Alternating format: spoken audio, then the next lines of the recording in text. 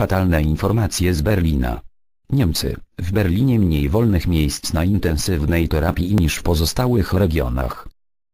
Berlin należy do regionów najmocniej dotkniętych koronawirusem. Od początku epidemii odnotowano tam 21 126 zakażeń. W tym tygodniu, według statystyk Stowarzyszenia Divi, liczba wolnych łóżek na oddziałach intensywnej terapii jest w Berlinie znacząco mniejsza niż w pozostałych częściach kraju.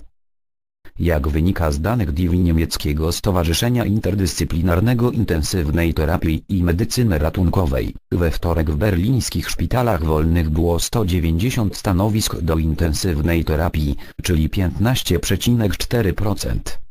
W sobotę w Berlinie było ciut lepiej 211 wolnych łóżek intensywnej terapii z ogólnej liczby 1236.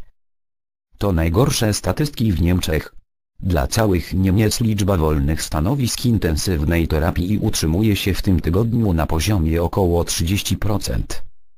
Wraz z gwałtownym wzrostem liczby infekcji SARS-CoV-2 w stolicy Niemiec coraz więcej osób zgłasza się na wykonanie testów. Wykorzystanie mocy w laboratoriach osiąga krytyczny poziom, ostrzegała w ubiegłym tygodniu organizacja ALMA kredytowane laboratoria medyczne. Na początku października Senat Berlina zdecydował o wprowadzeniu w mieście godziny policyjnej od 23 do 6.